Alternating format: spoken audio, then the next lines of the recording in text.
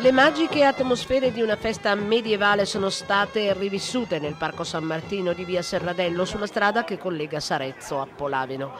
Dame, cavalieri, antiche botteghe di fabbri ferrai, tessitrici, falegnami, armaioli ed altri sapienti artigiani hanno trasformato il parco in un borgo d'altri tempi per i visitatori un tuffo nel passato.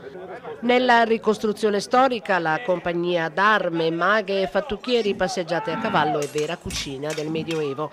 La manifestazione, giunta alla terza edizione, è stata promossa dalle sezioni della Lega Nord di Sarezzo, Polaveno e Lumezzane, Armando Signorini del comitato organizzatore. Abbiamo cercato di ricreare in eh, questo meraviglioso parco un villaggio, il Borgo di San Martino, un villaggio medievale aiutati dall'Associazione dei Saggita Imperiali, dei Lupi Neri e dei Sagittari Treviade.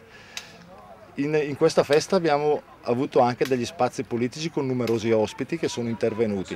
Abbiamo avuto molti momenti e molti intrattenimenti da parte di questi gruppi di rievocazione storica. È stato un grosso successo di, di affluenza di pubblico e la gente è, stata molto soddisfatta perché ha visto in questa festa, oltre che l'aspetto politico, anche l'importante aspetto storico. Aspettando l'ottava luna era il titolo della rievocazione che si è snodata nell'arco di tre giorni, densi di appuntamenti e iniziative.